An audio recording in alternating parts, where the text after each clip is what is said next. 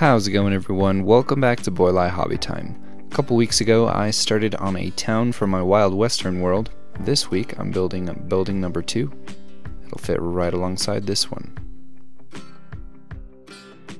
I started with the same base dimensions as the saloon. All of the buildings in this project will have the same base height so that in the end I can put them all together and create a nice organized town. I sketched out a loose floor plan onto the foam itself. I didn't follow it too exactly, but it did help establish a mental picture for what this building was going to look like. I then cut out four wall sections, one for the front and one for the back, and then two for the sides.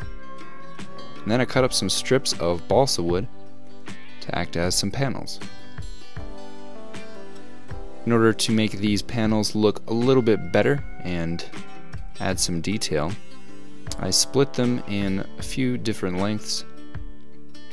Then I carved some little pieces out of them and chipped them up with the X-Acto knife, as well as a steel brush. In order to help the glue adhere a little bit better to the foam, I also scratched it up before applying some wood glue. Then spread that out with my finger and I laminated the wood to the foam.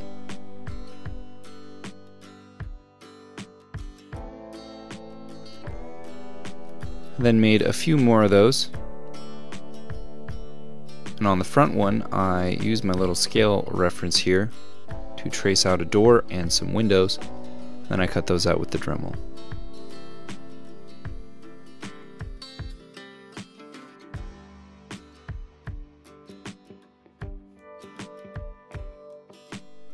I then added some little details like some window sills and a door frame.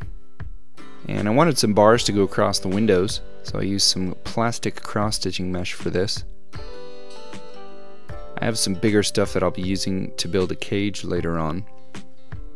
Added some details to the door, a few more trim pieces, and on one of the side walls I cut a hole. Uh, this door leads into the cage.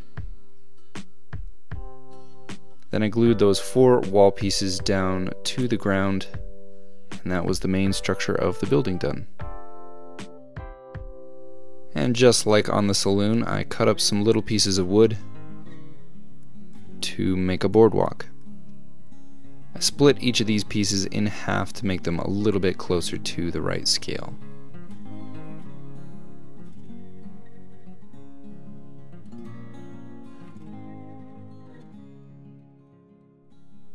I used some larger pieces of trim to hide all the seams where the walls came together. After I'd glued those on, I moved on to building the cage. I watched a video recently from Black Magic Craft where he makes a cage out of this same material and he talks about how difficult it is to stick together. I found this to be true as well. It's very difficult to stick together. But what helped me was building these little wooden corners the plastic sticks a lot better to the wood than it does to the other plastic. So I used a very thin super glue and this accelerator and it worked pretty well. I found this chain at the store, has these little cuffs on the end, and thought it looked like it would be perfect for chaining up a big monster. I didn't glue this down so I can retroactively add a monster to the cage later on. If you have any suggestions for what monster I should put in here, let me know. Then made a little winch. I glued the top on. Then I glued a roof onto the building.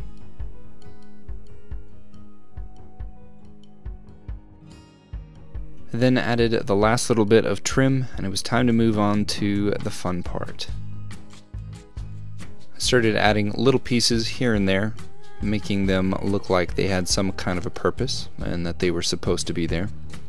Well, I guess none of this stuff is supposed to be on a cowboy era building, but you know what I mean. I haven't established the rules fully for this universe, but I do know that they have access to and the ability to use electricity and radios. And there are monsters. Speaking of monsters, I wanted to have a little platform that the sheriff or a guard could stand on and monitor the monster from. So I made a little platform out of some more balsa wood and a little metal mesh. Cut out some posts and a ladder. Glued those to the bottom to give it some elevation. Then I glued the whole thing to the roof and made some little railings out of brass rods. I also added a little trapdoor to give people access to the roof, and I added a few more little things here and there to add some visual interest, including some guitar string. Then covered all of the foam on the base with some Mod Podge to protect it from the primer, and when that was dry, I primed it. I used a gray and white primer to give it a zenithal highlight and then I went over pretty much everything with different layers of washes. The basic idea of this building is that it is a sheriff's office with normal size jail cells in the building on the right. And then the big one on the left is a cage for unruly monsters. We've only seen one monster in this world so far, the big bison. But there are definitely a lot more monsters out there. I then added some orange paint to mimic some rust on a lot of the metal areas. Then I painted a base coat of a tannish brown on the ground. And then I went over that with a watered down glue. And then I sprinkled on some sand. I did also go back and add some sand to the saloon base so that they would match. And I scraped away the sand in front of the door where monsters had been reluctantly dragged into the cage. Then painted Sheriff above the door. And I used some weathering and dusting to blend that in. And then I painted my Sheriff.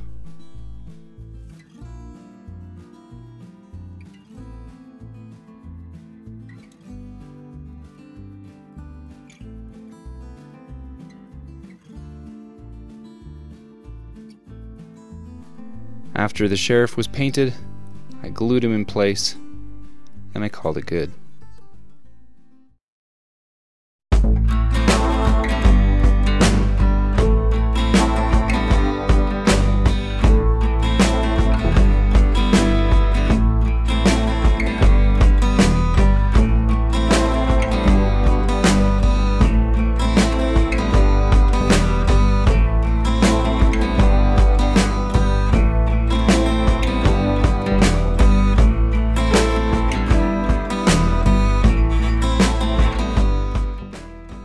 That is it for this video. Thank you all so much for watching. Hope you enjoyed. Thank you to all of my patrons. I appreciate you all very much. Have a great week, everyone. I'll see you next time.